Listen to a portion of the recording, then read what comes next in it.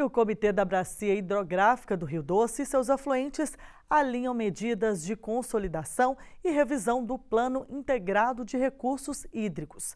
Ações ao longo prazo para cuidar do futuro das águas dos rios na região leste são planejadas. A oficina de revisão direciona ações do Plano Integrado de Recursos Hídricos. Os agentes participam de forma mista, presencial e virtual eles puderam debater o futuro das águas na bacia hidrográfica do Rio Doce e seus afluentes.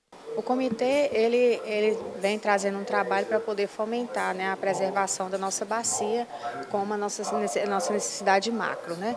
Então, é, o comitê basicamente ele une as vertentes dos usuários, é, poder público estadual, municipal e também da sociedade civil, todos em prol de trazer preservação para a nossa bacia através de projetos e planos que são, é, que são é, estipulados né, a partir da nossa cobrança. A oficina do Comitê da Bacia Hidrográfica do Rio Doce consolida a importância dos agentes na gestão e fiscalização dos recursos hídricos, formando a base de dados sobre a qualidade da água e acompanhamento de eventos extremos, secas severas, cheias com avanço de alagamentos, que podem indicar o assoreamento plano de bacia ele é um instrumento dinâmico, né, onde nós procuramos dar um detalhamento maior naquelas ações que forem definidas para o curto prazo, para os primeiros cinco anos, e vamos promovendo é, revisões progressivas e atualizações desse planejamento ao longo desse horizonte de 20 anos. Então, a cada cinco anos, a gente faz uma revisão daquelas ações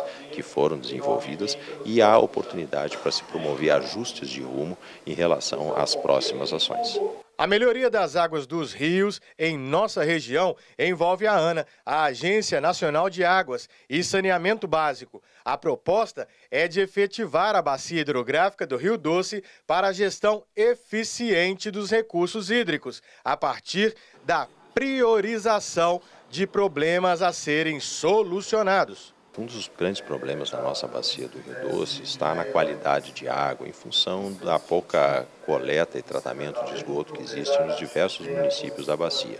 Então, esse é um dos investimentos importantes que provavelmente será apontado no plano da bacia, de maneira que a gente progressivamente vá melhorando as condições de qualidade de água nos nossos cursos d'água. A partir do momento que a gente conhece a nossa bacia, a gente tem condições de tratá-la melhor, né, com o respeito que ela merece também, e de, e de fazer, realizar trabalhos para que a gente atinja é, o nosso objetivo, que é trazer a preservação dela.